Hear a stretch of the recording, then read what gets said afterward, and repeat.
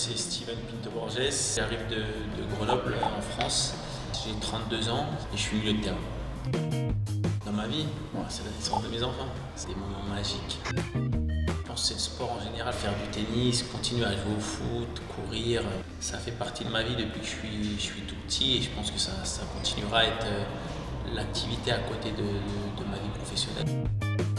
C'est sûrement les montées avec Grenoble déjà parce qu'une montée pour un club ça veut dire beaucoup de choses. Et après il y a aussi euh, une, une demi-finale de Coupe de France aussi qui nous a amené au Stade de France, donc avec Guingamp. Voilà, ça aussi ça reste, ça reste un beau souvenir.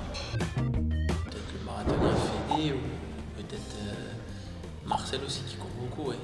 Marcel ou Fédé, ouais. Youssouf aussi devant court beaucoup. Donc c'est difficile à dire, mais euh, ouais, peut-être un des trois. Je pourrais citer un métier ou deux ou trois, mais je ne sais même pas si c'est celui que je ferais, donc euh, voilà, c'est pas. Je vais pas dire de bêtises. Euh, je sais pas, dans, l'informatique, il y a mes origines portugaises, peut-être dans le BTP, ou je sais pas, c'est le stéréotype, mais. La victoire de l'Euro euh, du Portugal, le titre de champion du monde aussi en 98 de la France, parce que c'est vrai que c'est mes deux pays et, et on est toujours partagé quand c'est comme ça.